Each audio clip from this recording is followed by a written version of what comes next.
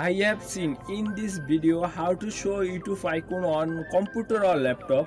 আমি এই ভিডিওতে দেখাচ্ছি কম্পিউটার অথবা ল্যাপটপে ইউটিউব আইকন শো করাবেন কীভাবে।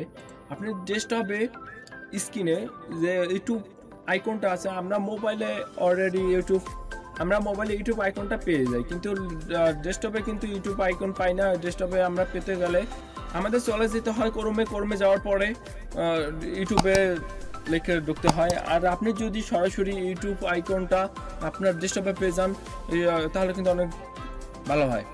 তো চলুন ভিডিওটি শুরু করি।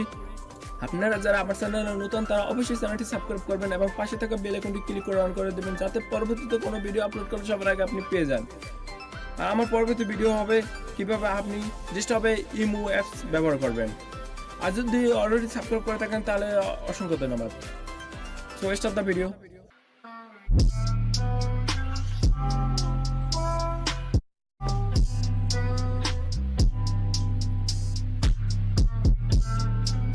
আমাদের প্রথমে কম্পিউটার অথবা ল্যাপটপের যে ব্রাউজারটা আছে ব্রাউজারটা ওপেন করুন। এখান থেকে আপনারা ইউটিউব লেখে ইউটিউবের ভিতরে চলে যান।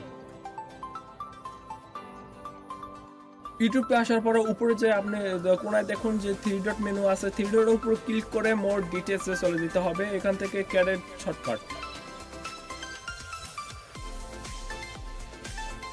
এখানে ইউটিউব আইকনটা দেখা যাইতেছে আর এখানে লেখা আছে ইউটিউব নামটা। আপনি যদি ইউটিউব নামটা কেটে অন্য অন্য কোনো নাম দিতে চান, তাহলে সেটা হবে যদি আপনি ইউটিউবে নাম রাখতে চান, তাহলে ইউটিউবটা রেখে ক্যাডেটের উপরে ক্লিক করে দেন।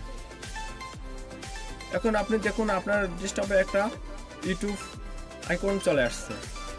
আমি যদি এখন এই আমার ব্রাউজারটা কেটে দিই, কেটে দেওয়ার পরে যদি ইউটিউবের উপরে ডাবল ক্লিক করে, তাহলে দেখবেন সরাসরি ইউটিউবের ভিতরে চলে গেছে।